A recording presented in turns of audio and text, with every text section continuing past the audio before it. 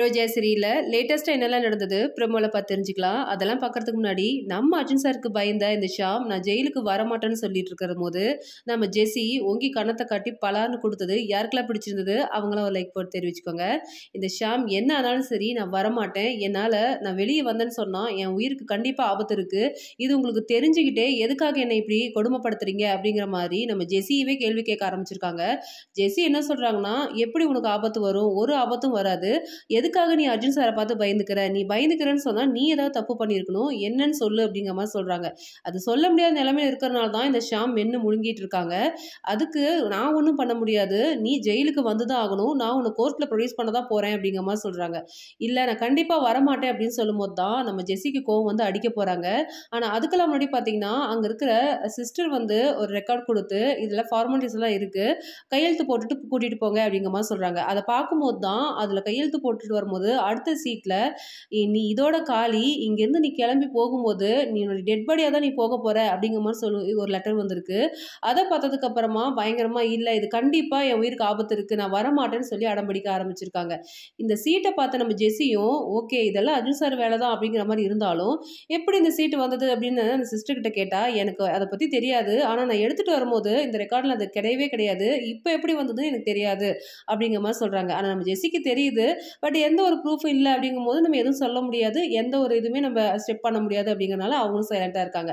இப்போ நீ என்னன்னாலும் சரின்னு சொல்லி தர தரன்னு எழுத்துட்டு போகும்போது பார்க்கவே சூப்பராக இருந்துச்சுன்னு சொல்லலாம்.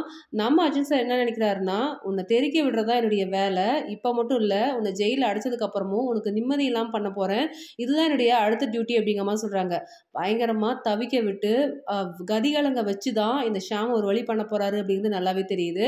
இப்போ வீட்டில் நம்ம அர்ஜுன் சாரை காணும்னு சொல்லி ரொம்ப டென்ஷன் டென்ஷனாக இருக்காங்க நம்ம ரோஜா. இவ்வளோ நேரம் ஆகி காணும் அப்படிங்கும் போது கல்பனம்மாவுக்கும் நீ இந்த டைமில் இருக்கும்போது இப்போ கூட கூட இல்லாமல் இருக்கான் அப்படிங்கிற மாதிரியும் உங்களை டென்ஷனாக பேசிகிட்டு இருக்கும்போது தான் நம்ம அர்ஜுன் சார் ஒரு கிஃப்டோட வீட்டுக்குள்ளே நுழையிறாரு. ஆனால் அந்த இடத்துல கொஞ்ச நேரம் கேம் விளையாட பார்க்குறாங்க நம்ம ரோஜா. நான் இல்லைன்னு சொல்லுங்கள் எனக்கும் கோவமாக இருக்குது லேட்டாக வருது அப்படிங்கிற மாதிரி பேசிகிட்டு இருக்காங்க.